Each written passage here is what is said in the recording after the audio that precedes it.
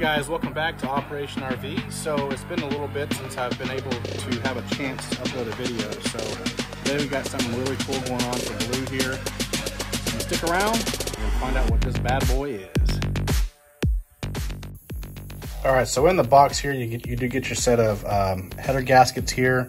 That's the part number with BBK. I'm gonna go ahead and use those. A lot of people might wanna use Fel-Pro, whatever, but uh, these are good. Uh, good, awesome, I guess, uh, headers that have a lot of uh, reviews and, and, and, everything out there. So these gaskets aren't anything that's cheap. Um, and looking at the con overall construction, you can you can tell that it's overall pretty good product. Plus the reviews out there say say so. I like to set my stuff up to be organized. So I have my eight bolts here for my passenger side, and I got my eight bolts there for my driver's side. So it does come with all the actual hardware. And most importantly, to get an additional 50 horsepower out of these, we have uh, decals. So that's gonna be pretty impressive. So let's stick around. All right, we got some goodies here from Summit. Uh, there's the part number here. Does indicate for an 86 and 93 Mustang 5.0 or 302. And you guys are already aware that this is a 351 Windsor. Well, um, the header bolts up to the exact same thing uh, as far as the pattern of the 302 versus the 351 Windsor on the header.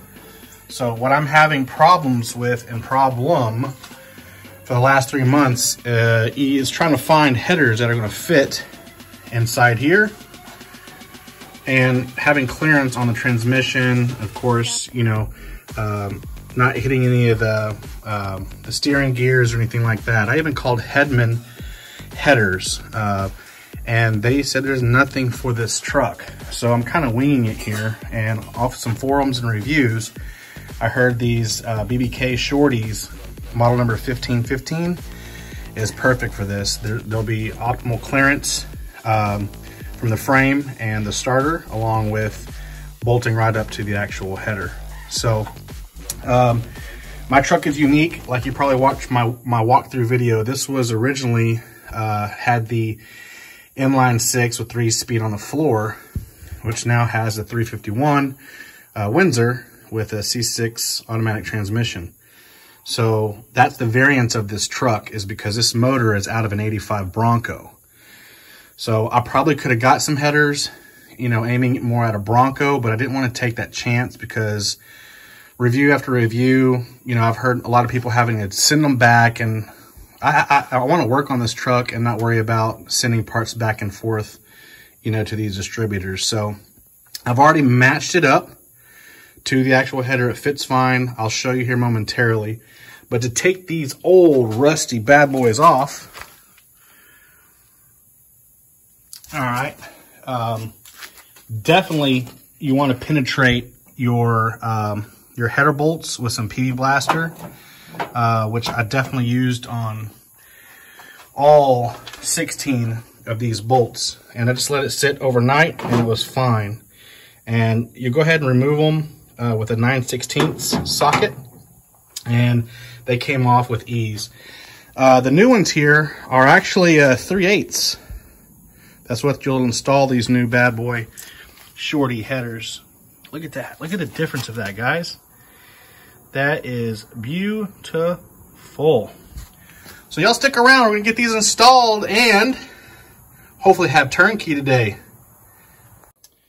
All right, so real quick, guys. I tried to attempt to do this uh, one-handed and holding the camera, but that didn't work out. So I have it propped up here. Uh, what I went ahead and did first is I started with this first one and just put the uh, header bolt in there. Just uh, uh, tightened it, probably about three threads, and then I went to the back one. So now, as you see, I have room to where I can use both hands and start feeding the rest of these um, in each um, bolt hole. So, so far I haven't had any problems. And so what I'm going to do is just continue going down the line here. Let me get up close. I can get a better representation here. These bolts go in pretty pretty simple, which I was kind of, uh, uh, let me see here.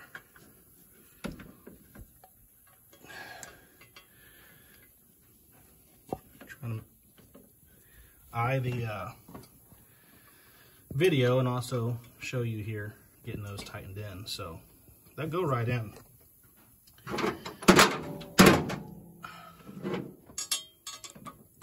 So they go right in, which is nice. So I'm just gonna walk down each of these here and just kind of hand tighten them. Uh, specs say, because these are 3 8 inch bolts, that the torque recommendation is anywhere from 27 to 33. Uh, so I'm going to get out my torque wrench and get those torque down, and then we'll move over to the driver's side. Look at that, guys. It's to be perfect clearance. See right down in there. It's to go straight down. That's my un, uh, my unbolted exhaust uh, remedy that we had on the manifolds there, one of those flex exhaust pipes. But uh, you see the angle here goes straight right back down there. And there's the starter. No problem there, not hitting anything. And you have access to all the plugs. So that's a main, main plus for me. Do is line up this gasket a little bit while you brace it. Definitely helps. Let's try it again now that it's a little bit more level. To each uh, header port, all right, guys, so I'm about to do my first initial uh, cold start. Haven't heard uh, what it sounds like, so you all be the first, just like I will. All right.